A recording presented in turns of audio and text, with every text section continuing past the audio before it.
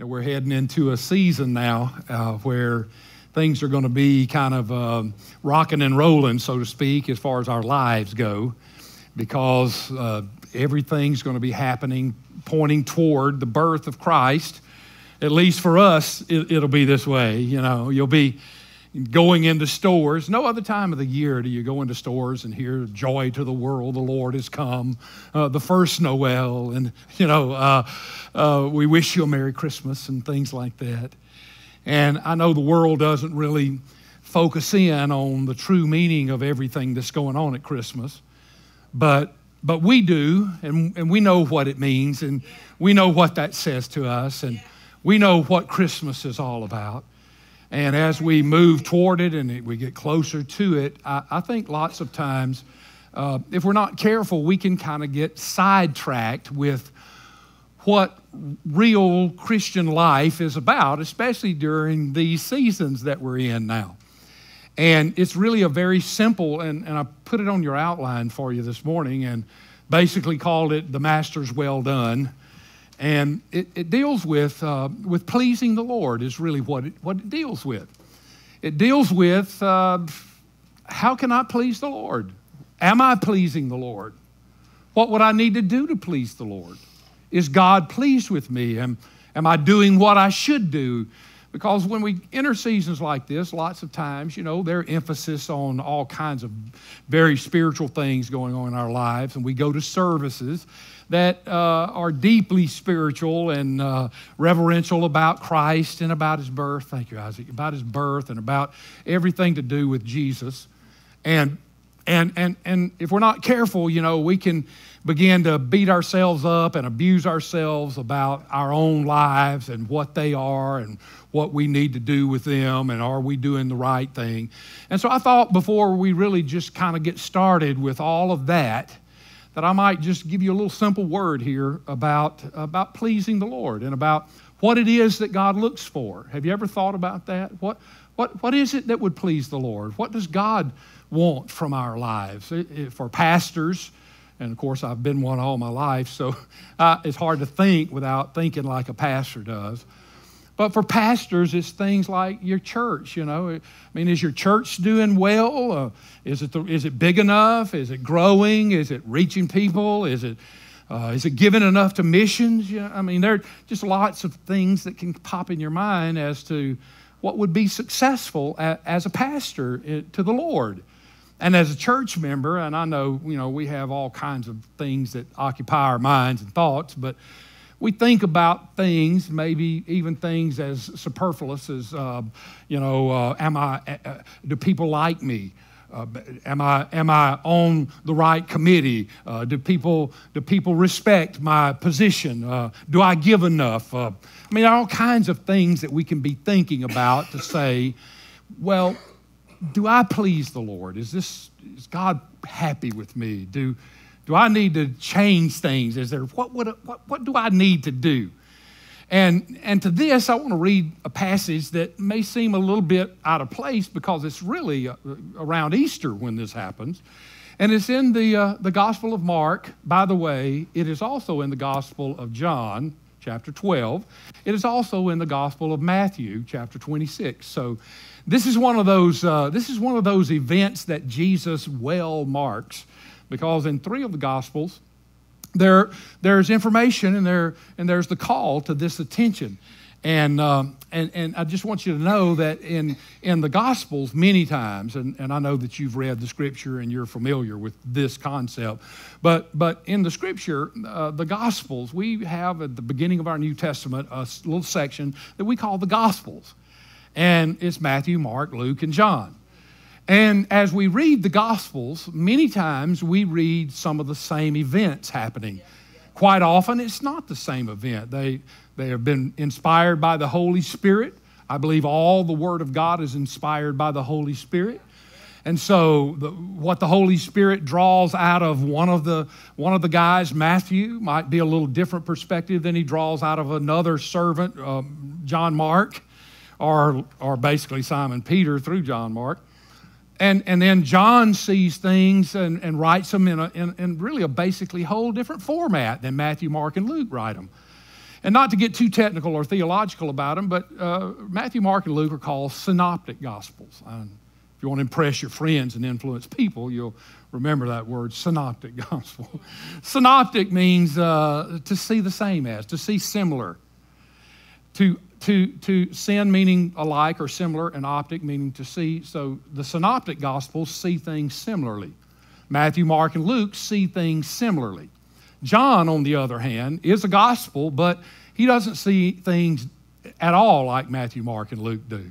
As a matter of fact, John only records seven of the miracles that, John, that Jesus does, and they're pretty big miracles. And John says, I do this because I want to I want to show you some things about Christ so that seeing these things about Christ, you'll know He's the Son of God.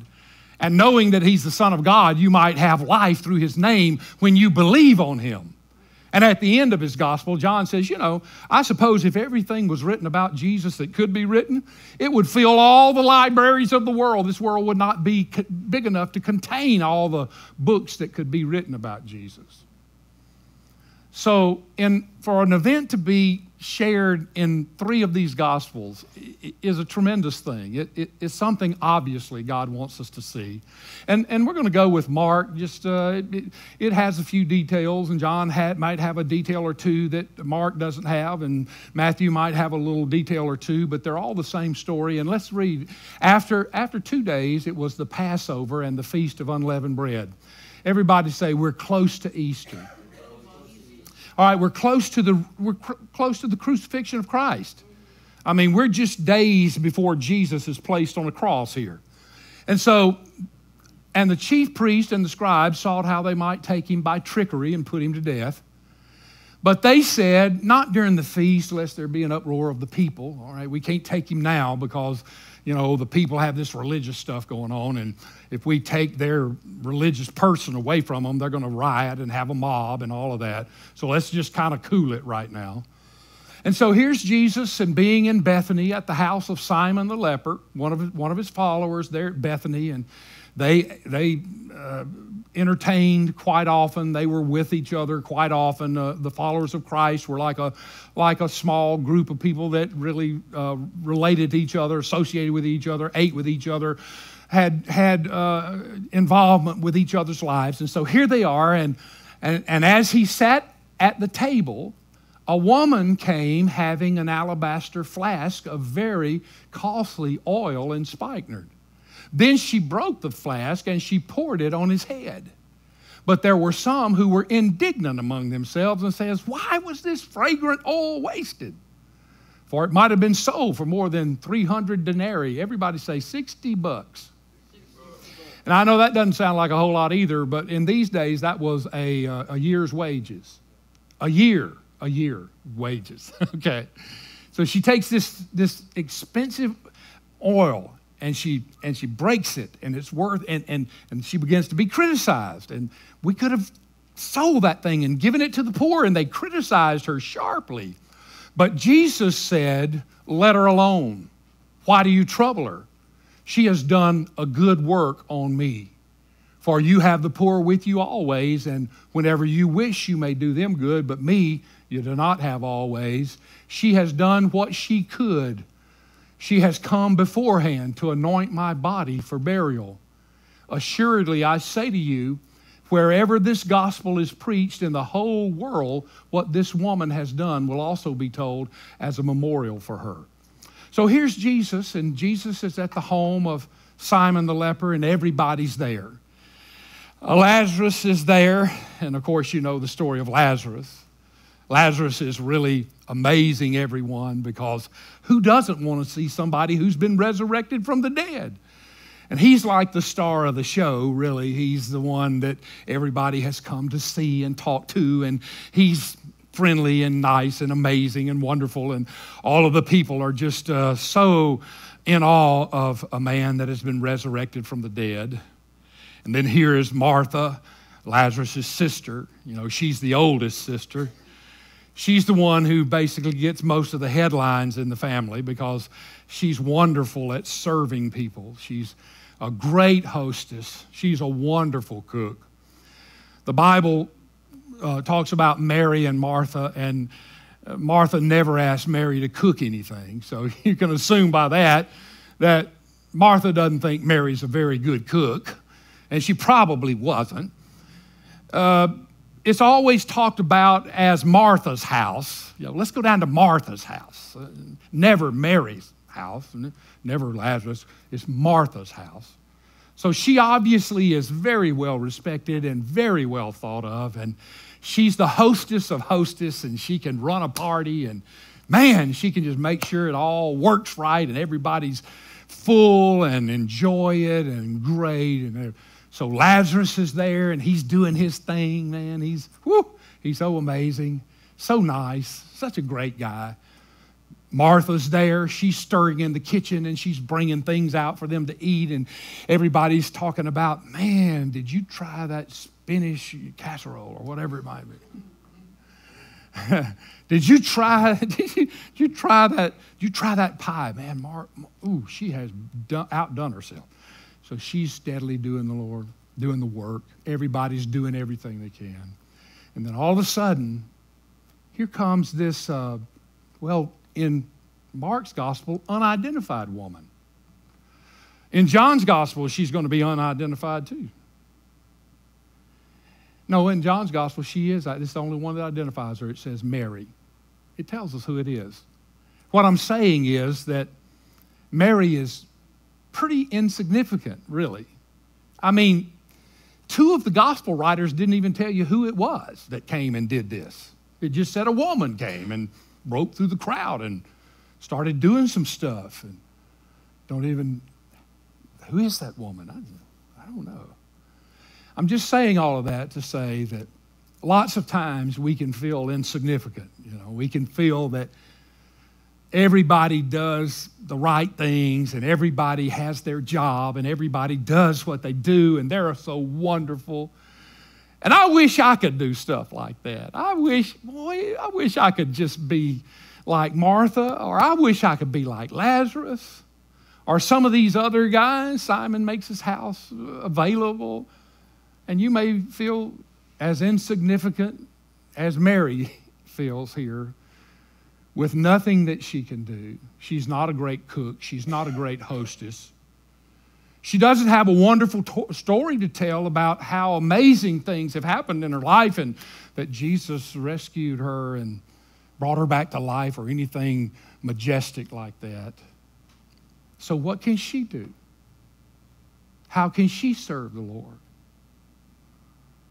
What would please God that she could do in life?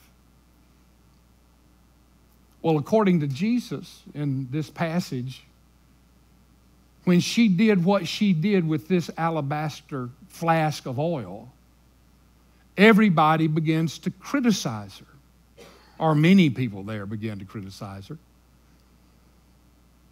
Because the circumstances here are not favorable for her to inject herself into this situation. You are familiar that in these days, women just didn't do things like this. They were quiet. They stayed back out of the way. They did not uh, intrude into occasions such as this. This was a this was a this was a, a man's party. This was a this was a social event, and the women just didn't they weren't bold that way. They weren't they weren't they didn't put themselves forward. So the circumstances were awkward. This would not be the time to try to start a new ministry in life. It was like, like, no. So, in spite of the circumstances, the awkwardness, the, the fear of being out of place, uh, people talk about you. Oh, Mary, you shouldn't have done that. I mean, this is this would be this would take them aback, you know. And in spite of the criticism, because there were people that began to criticize her immediately when she did what she did. Immediately, I, am sure no sooner had she gotten the ointment out of the, out of the flask, it was probably still dripping from the flask when, when some people began to criticize her for what she did. I mean, the thing hadn't even cooled off yet, and people are beginning to uh, insinuate that she was not a, a good uh, uh, minister. She did not appropriately use the resources that she had in order to do the best that she could with it, that she had made this terrible mistake, and that she could have thought a little bit more about what she was doing and made a better choice than what she made. And, not, and, it wasn't just anybody that began to criticize her, it was, it was one of the disciples. It was, a matter of fact, it was the treasurer of the disciple group, Judas himself. The one that really never called Jesus Lord. I don't know if you've ever noticed that in the gospel. He really doesn't. He, he, never, he, never, he never worships. He never calls Jesus Lord. But, he, but here he is criticizing now somebody else who is worshiping and, and pouring themselves out on Christ. And so, in spite of the, spite of the, the, the criticism, in spite of the conditions that were there, here comes Mary. And then Jesus looks at her and Jesus says, You leave her alone. She has wrought a good work on me. She's done what she could. She's come beforehand to anoint my body for burial. Now, this is a, a little unique thought, uh, just so you'll know the difference. Uh, there, were, there were many types of anointings that people would give. There were anointings of, of uh, welcome, so to speak. Uh, you come to my home and you're welcome. Well, I might anoint you with, with, a, with a typical uh, greeting, welcoming type of anointing. Or if I want to honor you, there's, a, there's an anointing for honoring someone. But according to the word, Mary didn't anoint Jesus as a greeting and she didn't anoint Jesus as an honor. She anointed him for burial, which was a whole deeper type of anointing. And Jesus said, She's done what she good. You, you leave her alone. She's wrought a good work on me. Have you ever thought about what it is that pleases the Lord? Yeah, I mean, you know, all right, if I give enough money, will that please the Lord? If I build a big building and people come and fill it up, will that please the Lord? When, when, when, when I stand up here and I play an instrument and I, and I pour out my praise on that instrument, I mean, does that please the Lord? When I sing a wonderful song, I have a beautiful voice, does that please the Lord? And do you sit there many times thinking to yourself, I wish I could do something that would please the Lord? Because God surely must be pleased with the sacrifices that that one makes, but I don't have anything to give to Jesus. What is it that pleases the Lord? And a better question do you want to know? do you really want to ask Him? I don't know if you guys notice this, but every once in a while I'll, I'll, I'll, I'll glance over here at Tanya during the message. Have y'all ever seen me do that? I don't, I, sometimes I don't do it. You know why I don't do it? Because I don't want to know what she has to think about. because I know some reason or another I've bungled something or messed something up or it's confusing or something. I, don't, I just don't even want to look over that way. I don't want to see what, because I don't really want to know what she thinks about it. Every time I think about whether you want to know and, and, and how you please the, the right one, I think about the, the concert pianist. And uh, forgive me if, if I've said this so much, you, you guys can know what I'm saying, but know what I, know what I get to before I get to the end. Uh, but this piano student was giving his first recital at Carnegie Hall. Great time, had done wonderfully. He does the concert, everything's beautiful, great. Everybody's cheering, standing on their seats and cheering. And he goes off the stage and his manager's back there and says, Hey, you know, they loved you. Go back out and do an encore. You know, go, they want you to come back. And, and he shakes his head and, Why, man? He said, they, Everybody loves you. And the guy says, Well, not everybody. And he said, What are you talking about? And the guy points to the, in the balcony, there's this old man and he's sitting down. He's not clapping, he's not standing up cheering, he's, he's just sitting there. And the manager looks at him and says, That old man? What's one old man? And the guy says, that, That's my teacher. I, I don't always want to know what Jesus would might, what Jesus might think about what I'm doing. You know, the Bible says that when Jesus resurrected from the grave, he went to heaven, he sprinkled his blood on the mercy seat of God, and then he sat down at the right hand of God the Father. When he sat down, you know what that meant, right? It meant my work's finished. And that's where Jesus was. And in the book of Acts, now this is an unusual thing, in the book of Acts, there was a deacon named Stephen. And he was ministering the gospel. Brand new church just started. I mean, church brand new, just really the, the infant beginnings of the church.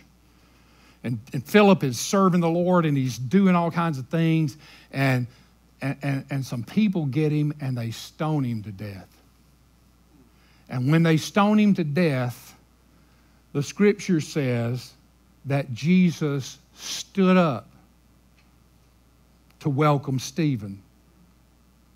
In other words, Jesus, who had sat down beside the right hand of the Father, was so impressed with what Stephen did that Jesus himself stood up and welcomed Stephen home. I think many times, could I please the Lord this way? Wouldn't it be wonderful that, it, it, that Jesus would stand up in honor of, of your service or your sacrifice or your worship or whatever it might be? Man, that would be an awesome thing. Well, what would it take to please Jesus this way? Could anybody do it? Could you do it? I mean, do you have to be a preacher and preach great messages, or a singer and do beautiful songs, or a writer and write tremendous words, or a teacher and teach tremendous things, or, or a giver and give great sums of money, or a builder and build giant church buildings and, and put them on all over the world? I mean, it, is this what it takes to please the Lord? Is this what it would take for Jesus to stand to stand for you and go, "Hey, babe, I like what you did and I like the way you did it." Well, according to him, in this passage, the answer is uh, no. Anybody can do this. We all can do this. This Christmas season, when you're watching those specials, you're watching those big churches and those big people and those big bands and those big uh, talented groups and people get up there and just blow you away with the awesome anointing of God on their lives.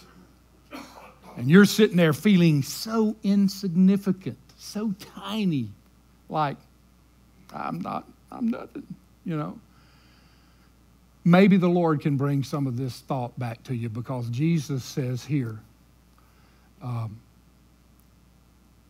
I'm going to share with you what you need to do to please me because I want you to know that you can do this.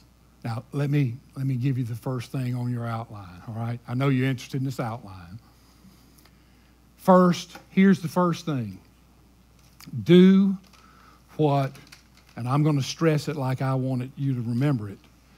Do what you can. Do what you can. Here is Mary.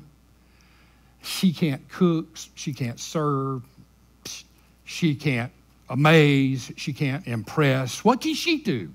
I remember I've got some ointment that I have been saving my whole life to be used when, when, when my body's gone. They're going to take this ointment that I have hidden back here in the closet and they're going to anoint me and anoint my body because that's what you're supposed to do. That's appropriate and that's good. And she had been saving it all this time. And all of a sudden, evidently, into her mind pops, I've got some ointment.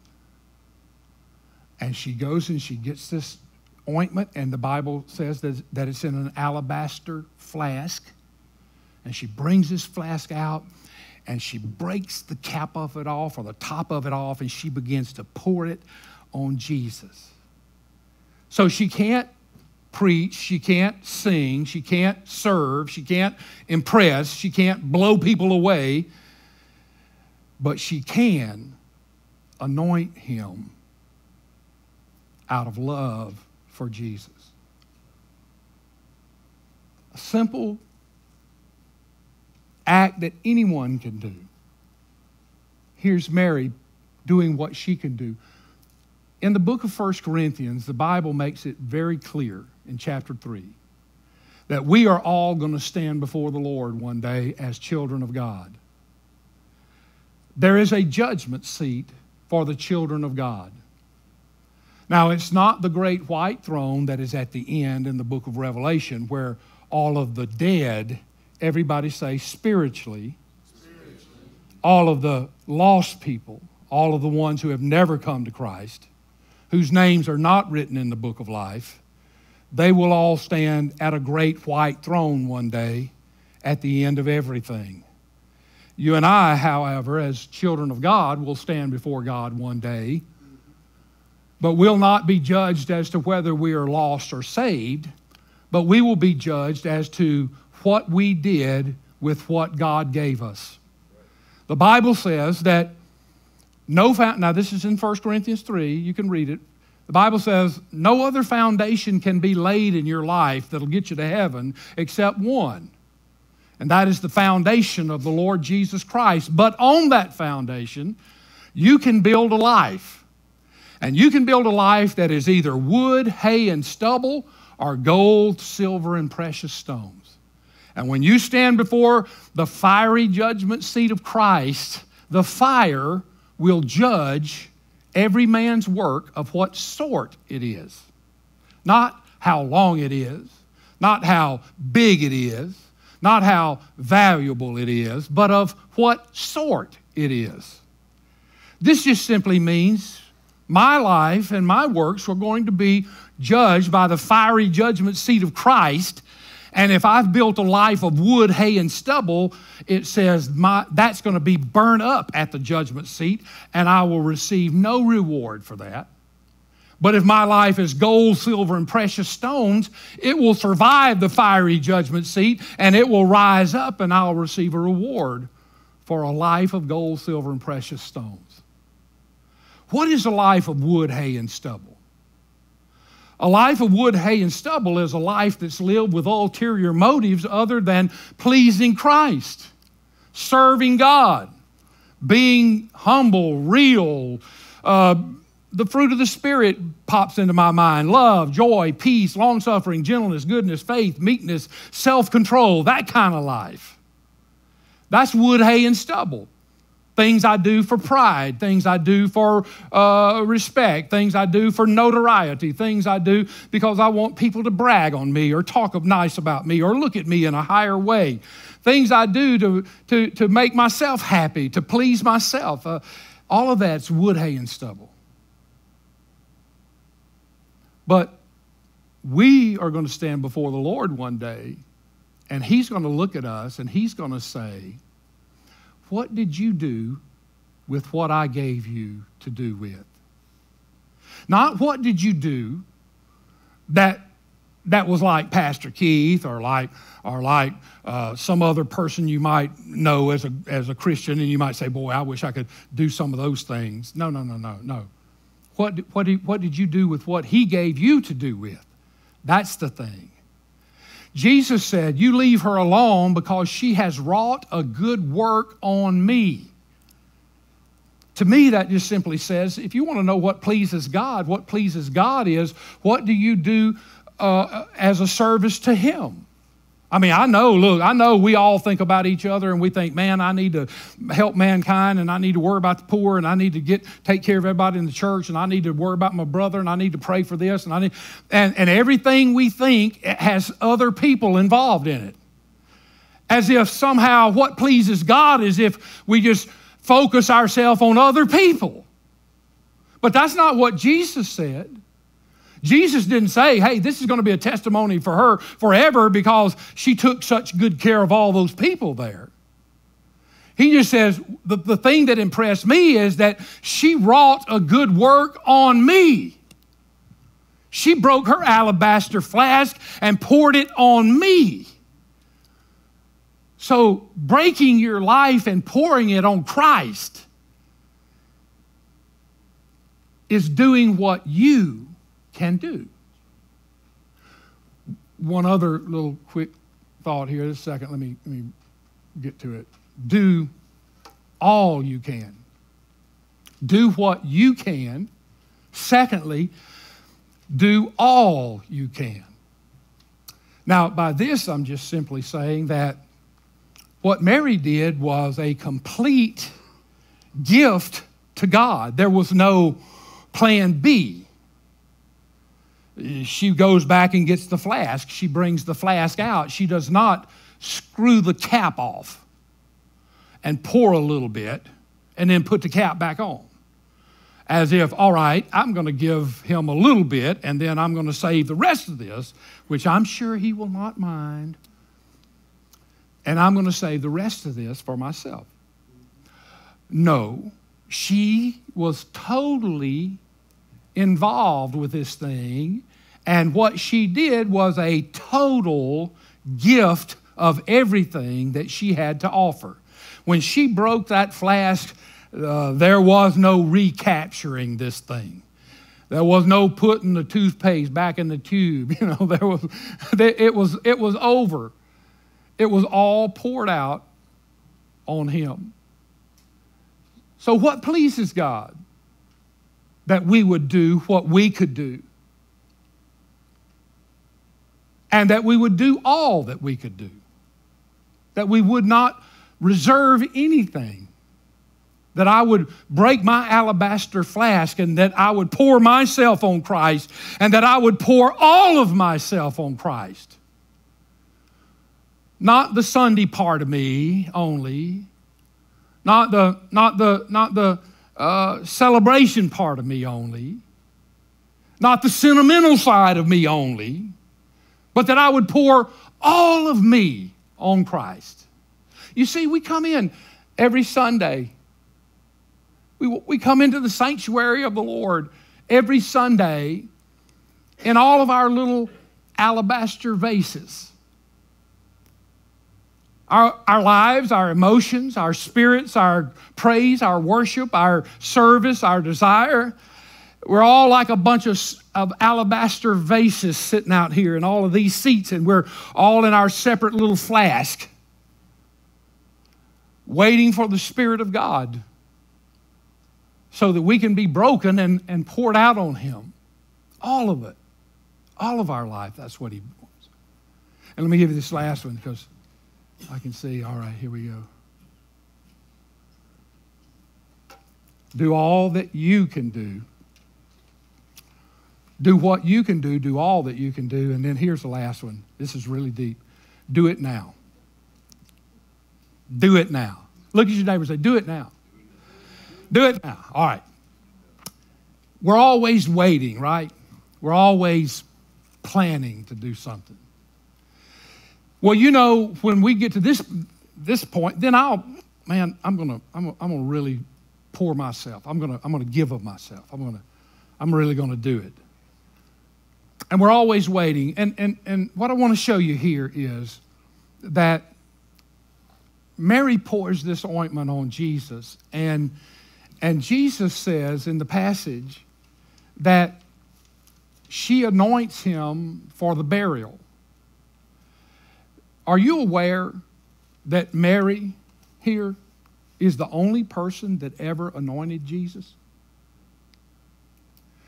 The women were coming to anoint him after he was crucified. You remember? They were coming and they were getting there before the sun even rose on the very first day that they would be allowed to be in the presence of a dead body, they were running. They were, they were going to the tomb and they had oils and ointments and spikenard and they had all of the fragrance because they were going to anoint the body of Jesus because nobody had time to anoint the body because it was Passover day and they had to take him off the cross and hurry to get him in a tomb because he couldn't be out of the tomb on Passover day. So nobody had time to anoint his body. Nobody had time to pour oil or ointment on Jesus.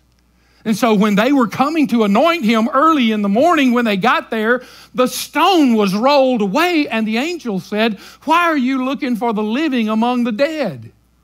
He's not here, he's risen, just like he said he was going to do. And you go back and tell the disciples and Peter to meet him in Jerusalem just like he told you to. They never got to anoint the body of Jesus. The only person that ever anointed Jesus was somebody that did it before he was crucified. And the Bible says that when she did it, she anointed him. Jesus said, For my burial. Identifying the fact that there was a time coming when I'm going to be gone. And if you're going to do anything for me, you got to do it now. I won't be here later. I'll be here now. And if you're going to do it, you got to do it now. He says, The poor you're going to have with you always. Judas jumps up and criticizes her for wasting this ointment because it could have been sold. Now, John's gospel tells you what was on his mind.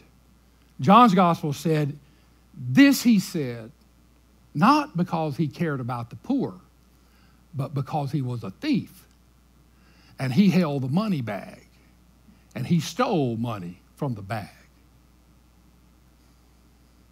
And so he criticizes, and Jesus said, You leave her alone. This, has, this is done now, and this is going to be done, and nobody else is going to do this but her. So, this simple act, simple act of pure love and devotion, no big program, no big uh, uh, skills, uh, no tremendous effort, simply a love for God and a heart to pour ourselves out on Him.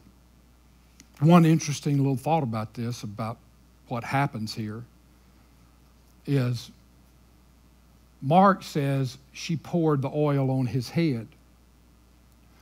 John says it was on his feet and that she wiped his feet with her hair. So, what happens is she anoints him on his head and it runs down his body and drips off of his head onto his feet and Mary's down with her hair and she's wiping the ointment off of Jesus' feet. Which I think is a wonderful picture. Now, watch this. Yeah, humility would obviously be there.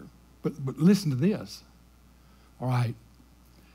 When you pour something on Jesus, the, free, this, the, the fragrance that she poured on Jesus ran down Jesus and then she wipes it with her hair. So what she poured on Jesus ends up back on her.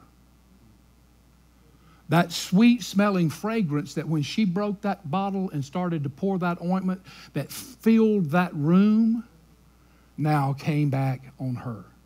What, what, does that mean? Well, we're talking about Christmas.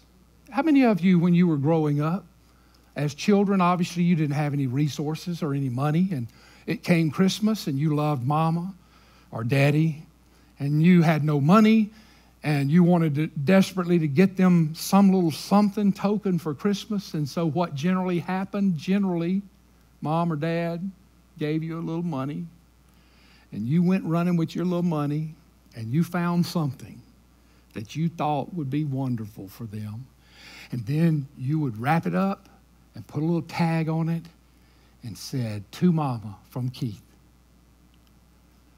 Now, that gift that I gave to my mama was bought with the money that came from my mama.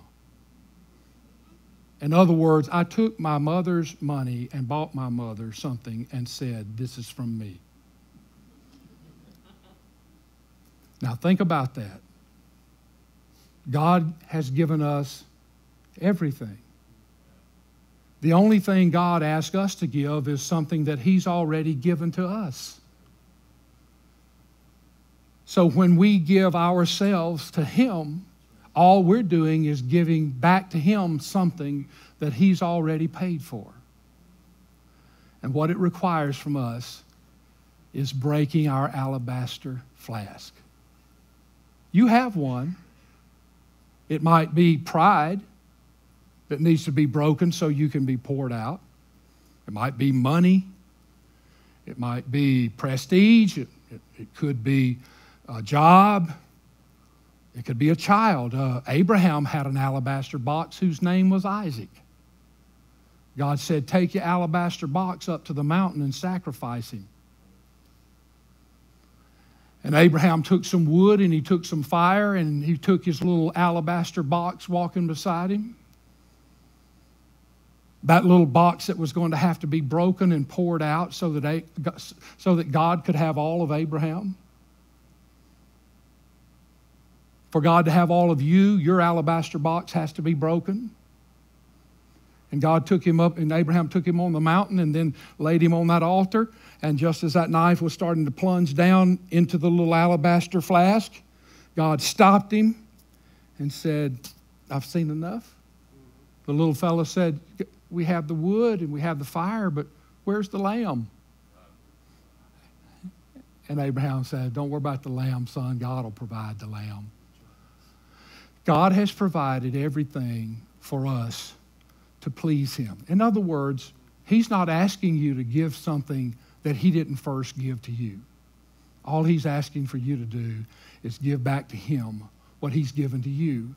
And then the fragrance that fills Him will also fill you in life. So, how do I please God? Brought a good work on Him and I've broken my box and I've poured myself on him. And God is pleased. And it says, and because she did this, for, the, for as long as there are hum, human beings on this earth, this testimony is going to be known by every person that ever lives on this earth. And here we are, 2,000 some odd years later, and here's Mary's sacrifice being honored one more time as a simple way to encourage us to please the Lord with our lives that He's given